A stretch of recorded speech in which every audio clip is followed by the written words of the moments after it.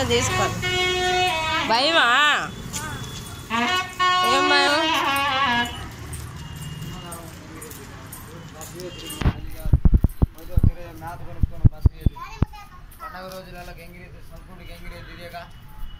ఎక్కడి నుంచి వచ్చింది గంగిరెద్దు? ఇక్కడ మార్కాపురమే కదా ఎప్పుడు ఇచ్చేవాళ్ళం ఏగమ్మ ఏటా. ఏం భయం మీకు?